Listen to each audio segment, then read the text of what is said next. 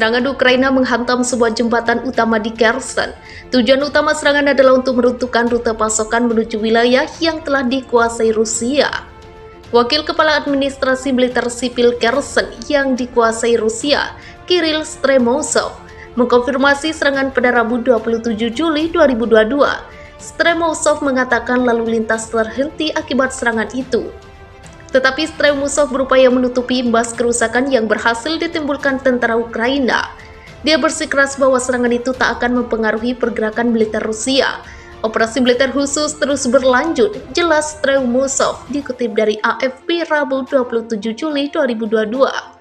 Kiev tengah berupaya merebut kembali Kherson. Wilayah tersebut memiliki populasi sekitar 300 ribu orang sebelum perang meletus. Kremlin merebut wilayah itu dengan mudah sejak awal invasi ke Ukraina pada 24 Februari. Memanfaatkan bantuan senjata dari barat, Ukraina kini menerjang mendekati Kherson. Pasukan Ukraina di Laut Hitam telah mengubah taktik mereka. Menurut pejabat setempat, Ukraina mulanya menggunakan strategi defensif, namun pihaknya beralih menjadi ofensif demi membebaskan Kherson sebelum akhir September. Rusia harus meninggalkan Kherson selagi masih memungkinkan, mungkin tidak ada peringatan ketiga, tegas penasihat Presiden Ukraina Mikhailo Podolyak. Selama Ukraina menekan Rusia di selatan, wilayah timur negara itu menyaksikan pertempuran sengit. Wilayah Donbas yang terdiri dari Donetsk dan Luhansk tak henti menghadapi gempuran pula. Tembakan dilaporkan menghujani salah satu kota di Donetsk, yakni Bahmut. Sebuah rumah di pinggiran kota itu dihantam peluru Rusia. Pasukan Rusia turut menerjang sebuah hotel di Donetsk. Otoritas setempat melaporkan serangan itu menyebabkan sejumlah korban tewas dan terluka. Saya berada di gudang dan akan keluar. Saya mendengar siulan dan saya tidak ingat apa-apa. Saya terlempar ke gudang oleh gelombang ledakan, tutur warga berusia 51 tahun Roman.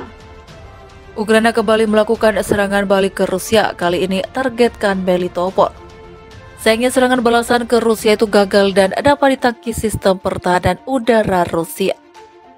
Diberitakan RIA Novosti Vladimir Rogov, anggota Dewan Utama Administrasi Wilayah Zaporizhia, menerangkan hal itu di saluran telegramnya. Ia mengungkapkan kegagalan Ukraina dalam melancarkan serangan balasan.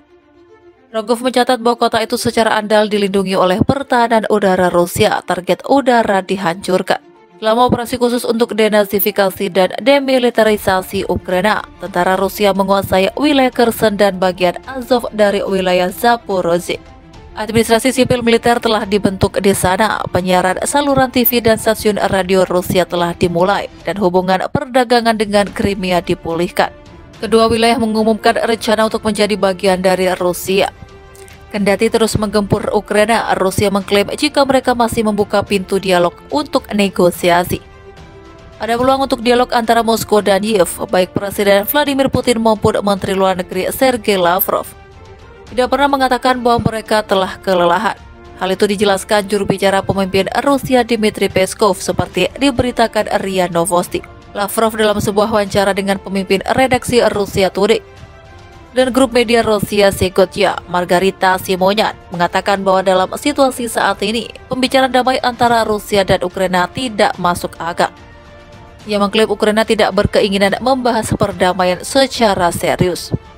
Putin sendiri dalam kunjungan ke Teheran minggu ini mengatakan bahwa otoritas Kiev menolak untuk mengimplementasikan kesepakatan. Meskipun secara praktis tercapai dan hasil akhir dari negosiasi tergantung pada keinginan para pihak untuk memenuhi kesepakatan yang dicapai. Namun Presiden menyatakan otoritas Kiev tidak memiliki keinginan seperti itu. Rusia telah melakukan operasi militer di Ukraina sejak 24 Februari. Presiden Vladimir Putin menyebut tujuannya merupakan bentuk perlindungan orang-orang yang telah menjadi sasaran genosida oleh rezim Kiev selama 8 tahun. Kementerian Pertahanan Rusia menyebut pembebasan Donbas sebagai tugas utama.